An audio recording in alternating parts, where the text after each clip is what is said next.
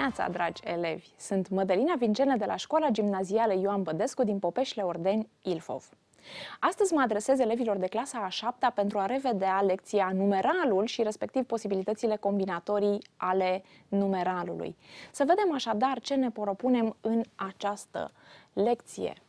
Ne propunem să definim numeralul și să ne aducem aminte care sunt felurile uh, acestuia, să diferențiem numeralul de alte părți de vorbire cu care îl putem confunda, să vedem care sunt valorile morfologice ale numeralului, pentru că el este o parte de vorbire cameleon, să spunem, uh, și cum apare numeralul în enunț, respectiv care sunt posibilitățile combinatorii ale numeralului și mai ales cum folosim în comunicare în mod corect numeralul. Am uh, selectat aici câteva imagini. Oare numeralul este prezent în viața noastră? Cred că destul de frecvent. Nu este uh, neapărat folosit foarte frecvent, gândiți-vă că folosim deseori pentru a realiza o rețetă de bucătărie, pentru a ne orienta în timp, avem exprimarea orei, a datei. În această imagine avem și numărul unor trenuri. De asemenea, exprimăm unități de măsură, așa cum avem aici altitudinea vârfului retezat, 2485. De asemenea, avem uh, ordinea claselor, clasa a șaptea, notele pe care le primim și prețuri, reduceri, elemente care se întâlnesc în viața noastră cotidiană. Vom uh, surprinde mai întâi un text. Să ne imaginăm că pornim într-o excursie în Apuseni. Iată aici prezentarea excursiei noastre. Natura ne-a dăruit bucuria de a rămâne fascinați în fața măreției ei, apa, sarea, calcarul sau gheața completează cantoarea unei pelicule naturale fascinante, din care nu pot lipsi cheile Turzii, Salina de la Turda, Cascada Șipote sau Veșnicul Ghețar de la Scărișoara. Suntem în Apuseni. Prețul excursiei noastre este de 360 de lei de persoană și acesta include cazarea pentru două nopți la cabană, având asigurate trei dejunuri complete, monitor pentru organizarea activităților la fiecare a șasea persoană din grup, echipamente și materiale pentru desfășurarea activităților. În ziua întâi este dedicată cazării și are o ședință organizatorică, ziua a doua presupune o drumeție către peștera Huda lui Papară și cascada sau cascada Șipote și ziua a treia propune jocuri distractive care dezvoltă abilitățile de comunicare, munca în echipă și voința. Ce numerale observăm aici? Desigur, de câte ori auzim numerale, ne gândim la matematică. Avem prețul 360, cazare pentru două nopți, având asigurate trei dejunuri complete, Apoi avem numeralul a șasea persoană din grup și apoi numeralele care desemnează ordinea zilelor pe care le vom petrece în această excursie, respectiv ziua întâi, ziua a doua și ziua a treia. Ne amintim din clasele anterioare ce este numeralul. Numeralul este partea de vorbire flexibilă, care exprimă un număr sau ordinea obiectelor prin numerar. Este partea de vorbire, într-adevăr, mai puțin flexibilă decât celelalte, dar vom vedea asta la timpul potrivit. Numeralul este de două feluri. Numeralul cardinal care desemnează entități în șirul numerelor naturale și uh, vorbim despre numerale simple formate dintr-un singur termen, numeralul 1, 2, 7, 10, 100, 1000, miliard și numeralele compuse formate din mai mulți termeni, 30 și 2. Observăm că este format din aceste trei numerale legate prin conjuncția și 50 și 7 de asemenea. Aș avea o observație aici. Nu confundați numeralele uh, simple sau compuse cu modul în care scriem aceste numerale. Spre exemplu, numeralul 10 este un numeral compus din două cifre, însă îl încadrăm în categoria numeralului cardinal simplu pentru că e format dintr-un singur termen. Numeralul ordinal desemnează entități ordonate numeric, conform șirului numerelor naturale. Al doilea, al patrulea, al zecelea. Observăm că și numeralul ordinal și aceste numerale se formează tot de la numeralele cardinale simple, 2, 4, 10, călora li se atașează anumite particule specifice. Cu ce Nu trebuie să confundăm numeralul. Nu sunt numerale cuvintele care exprimă cantități fără a implica ideea de număr, respectiv termenii mulți, puțini, unii, destui, care sunt, de fapt, pronume sau adjective pronominale nehotărâte. De asemenea, nu sunt numerale, chiar dacă exprimă ideea de cantitate, termenul numeroși, care este un adjectiv, sau cuvintele niște, un o, care sunt de regulă articole nehotărâte. Le-am evidențiat aici pe un și o pentru că le vom supune unei discuții aparte. Nu sunt numerale cuvintele care indică ordinea fără a implica ideea de număr, respectiv ultimul, ultim, termeni care sunt de regulă adjective.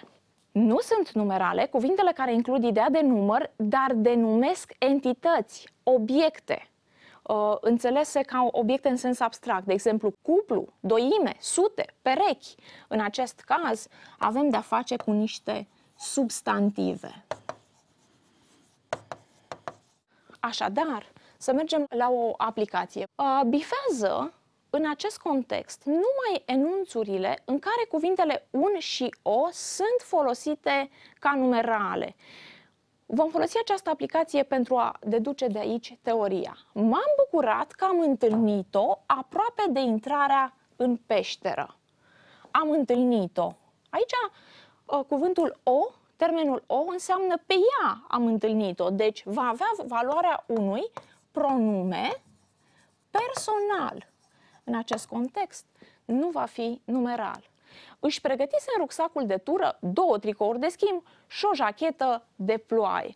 Aici observăm că acest cuvânt, termenul o, este într-o corelație cu termenul două, care fără discuție este numeral. Prin urmare, și echivalentul lui o va fi numeral. Următorul enunț. Înălțimea stalagmitelor din această sală nu depășea un metru. Uh, dacă ne gândim la un alt uh, enunț, ar putea fi în altă sală depășea 2 metri și din nou avem de-a face cu o corelație, avem o unitate de măsură, deci vorbim despre o înșiruire numerică. Din nou, în acest enunț va fi numeral. Alături de tine stătea o prietenă din copilărie. În acest enunț, cuvântul o nu pare să desemneze un număr, stătea o prietenă, o oarecare prietenă. Avem de-a face, în acest caz, cu un articol nehotărât. Cea mai folosită valoare a cuvântului o. Un instructor explica folosirea busolei, celălalt arăta cum pot stabili azimutul.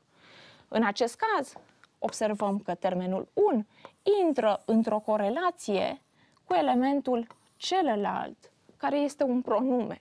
Și în acest caz, termenul un ar fi fost un pronume. Dacă aș fi spus unul explica folosirea busolii, dacă am spus un instructor, termenul un va avea valoarea morfologică de adjectiv pronominal nehotărât. O lecție pe care ați studiat-o voi în uh, emisiunile anterioare. Nu întâlnise nici măcar un copil cu care să se întoarcă împreună. Nici măcar un copil. Termenul un este accentuat de acest măcar un copil, măcar doi copii cu care să se întoarcă împreună. Așadar, atunci când putem stabili în mintea noastră corelații cu alte cuvinte care exprimă numere, sau cu alte cuvinte numerale, cuvântul dat, cuvântul un sau o, va fi numeral. Ultimul enunț, oh, cât de bine ne-am simțit la tura de escaladă, cuvântul o cu siguranță nu este numeral, ci este o interjecție, pentru că exprimă o stare afectivă. Observând aceste enunțuri, da, putem trage următoarele concluzii. Cuvintele un și o sunt numerale cardinale atunci când exprimă în mod clar, în mod evident, ideea de cantitate. Când intră în relație cu alte numerale, un capitan și patru membri, când sunt însoțite de adjectivul singur sau de adverbele numai, doar, decât, măcar, care scot în evidență unicitatea, o, pentru că îl avem pe decât, nu vei avea cu tine decât o busolă, nu două, nu trei. Mai sunt numerale cardinale atunci când exprimă o unitate de măsură. În excursie, totul a trecut repede ca o secundă, nici măcar ca trei secunde. Avem de-a face cu numeral pentru că avem această unitate de măsură a timpului. Așadar, să diferențiem cuvintele un și o, care sunt numerale, de celelalte părți de vorbire cu care pot fi confundate. Ce valori morfologice au numeralele? Cum spuneam, numeralul este o clasă de cuvinte în care sunt asociate acest sens de cantitate și numărul în anumite forme, însă el în enunț funcționează, cum spuneam mai devreme, ca un cameleon și se comportă când ca un adjectiv, când ca un pronume, când ca un substantiv. Acestea sunt cele trei valori ale numeralului. Valoarea adjectivală califică din punct de vedere numeric un substantiv, cu care se acordă în gen și caz. Așadar, ceea ce face adjectivul de obicei caracterizează un substantiv și se acordă cu acesta. Să vedem două exemple. Îmi amintesc prima excursie făcută împreună cu clasa mea. Prima, numeralul ordinal prima, este folosit în aceste nunți împreună cu substantivul excursie, cu care se și acordă în gen prima excursie, gen feminin. În echipa mea erau patru băieți și trei fete. De asemenea, termenul băieți, numeralul 4 determină substantivul băieți și se acordă cu el în gen și caz. Valoarea pronominală, ne amintim ce este pronumele. Este o parte de vorbire care de regulă uh, înlocuiește, substituie un substantiv. Ei bine, și numeralul cu valoare pronominală va face același lucru. Se întrebuințează ca un substantiv al unui substantiv care fie apare înaintea acestui numeral pentru a ne uh, sugera ceea ce înseamnă el, fie este dedus din situația de comunicare. Exemplele noastre sunt, dintre toți participanții, numai trei au reușit să adune toate punctele. Termenul 3 de aici se referă la participanți. Ca și cum am spune, numai participanții aceștia au reușit să adune toate punctele. Și ne-am putut da seama pentru că avem în acest context substantivul de la care el își preia sensul. Un alt enunț, al doilea dintre premianți, este chiar prietenul meu, Mihai. Aici avem de-a face cu un numeral ordinal cu valoare pronominală, al doilea. Dacă aș lua dintr-un șir, aș vedea care este al doilea. Următoarea valoare este valoarea substantivală este ca un nume pe care îl dăm acestui uh, numeral. Numeralul însuși este ca un nume. Când denumește un obiect în tiparul substantiv plus numeral sau în enunțuri matematice. Spre exemplu, în cursa de biciclete, la kilometrul 27 simțeam că mă prăbușesc. Kilometrul 27. Am putea da acestui kilometru un alt nume, kilometru prăpăstios simțeam că mă prăbușesc. Sau în enunțuri matematice, cum spuneam, 22 plus 5 fac 27. Și acum ne gândim la entitățile pe care le exprimă acești termeni. 22 este o entitate din șirul numelelor naturale. Așadar, avem de-a face cu o valoare substantivală. Cum se întâlnesc numeralele în enunțuri. Haideți să vedem uh, câteva enunțuri și să observăm când sunt centru de grup și când sunt adjuncți în cadrul unor alte grupuri sintactice. Primul enunț. Am mai multe propuneri. Mă gândesc la două dintre acestea. Avem numeralul ordinal la două. În primul rând, ne vom stabili valoarea pe care o are acest numeral în enunț. Ținând cont că nu avem un substantiv cu care se acordă, nu este o denumire, nu este un enunț matematic, valoarea lui va fi valoare pronominală. Observăm cu cine intră în relație. acest numeral cu valoare pronominală intră în relație pe de o parte cu verbul mă gândesc și va fi în relația cu acesta un complement prepozițional datorită impunerii de către termenul regent a prepoziției la și de asemenea avem termenul dintre acestea care determină de data aceasta numeralul la două. Așadar, acest termen dintre acestea, ținând cont că determină un numeral cu valoare pronominală, va fi un atribut pronominal. Observăm din acest enunț că numeralul poate fi atât adjunct în cadrul grupului verbal, cât și el poate fi centru de grup pentru un pronume. Următorul enunț. Întâlnirea cu al treilea a fost întâmplătoare. Avem aici numeralul cu valoare pronominală, numeralul ordinal. Al treilea, care este adjunct al substantivului întâlnirea. Prin urmare, el va fi de data aceasta adjunct cu funcția sintactică de atribut prepozițional. Așa îl vom numi atribut prepozițional. Nu mai spunem substantival pronominal, doar atribut prepozițional. Până în gară vom lua autobuzul 133. Numeralul de aici are valoare substantivală, pentru că, așa cum spuneam, ă, dă numele autobuzului, să spunem. Autobuzul 133 determină substantivul de aici și va fi atribut în nominativ. Așadar, avem și numerale care sunt centru de grup și numerale care sunt adjuncți. M-a bucurat punctajul a patru dintre colegi. A patru, din nou valoare pronominală și observăm că în acest enunț numeralul este adjunctul substantivului punctajul, prin urmare va fi atribut. Și dacă stăm să ne gândim la felul atributului, punctajul A4 al cui punctaj? A patru dintre colegi. Este un atribut în genitiv. 2 plus 2 fac 4. Este un enunț matematic, în primul rând, ceea ce ne spune că avem de-a face cu o valoare substantivală în acest enunț intră în relație cu predicatul fac, este subiect, iar pe de altă parte vom observa că termenul plus 2 este cel care determină acest centru de grup numeral 2 și va fi atribut. Deci va avea un adjunct atribut. Străbăteam mai multe galerii. Acum traversam prin a patra. Prin a patra, din nou avem o valoare pronominală.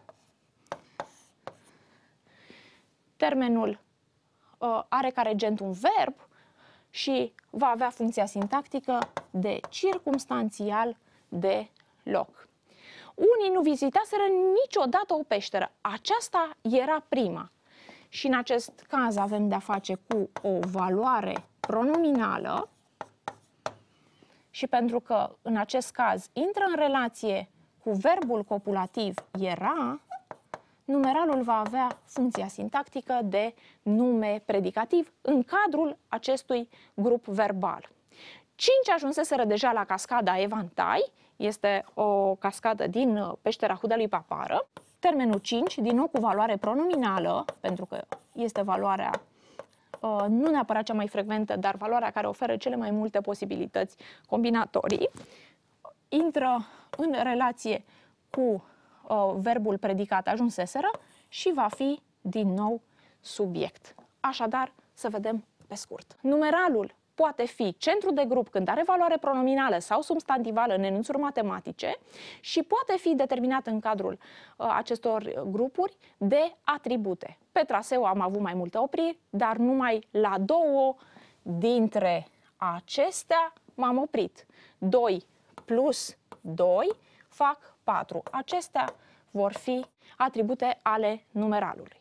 Numeralul adjunct într-un grup nominal îndeplinește funcția sintactică de atribut. Excursia va dura 3 zile, Ziua a treia va fi uh, ziua jocurilor pe echipe. Întâlnirea cu al treilea a fost întâmplătoare. Până la gară vom lua autobuzul 133. Peste tot va fi atribut de diferite feluri. M-a bucurat punctajul A4 dintre colegi. Iar în cadrul unui grup verbal, numeralul adjunct îndeplinește funcția sintactică de complement, circumstanțial, subiect sau nume predicativ. Am mai multe propuneri. Mă gândesc la două dintre acestea. Avem de-a face cu un complement prepozițional. Străbăteam mai multe galerii, acum traversam prin a patra, avem de-a face cu un circumstanțial deloc. Unii nu vizitaseră niciodată o peșteră, aceasta era prima, sunt exemplele de mai devreme, cum spuneam, este nume predicativ și cinci ajunseseră deja la cascada Evantai, avem de-a face cu un subiect. O, să zicem, mică recapitulare a funcțiilor sintactice pe care le cunoașteți. Aceasta a fost lecția noastră de astăzi despre numeral, sper că v-ați amintit foarte bine. Așadar, dragi elevi, spor la învățat și succes la evaluări!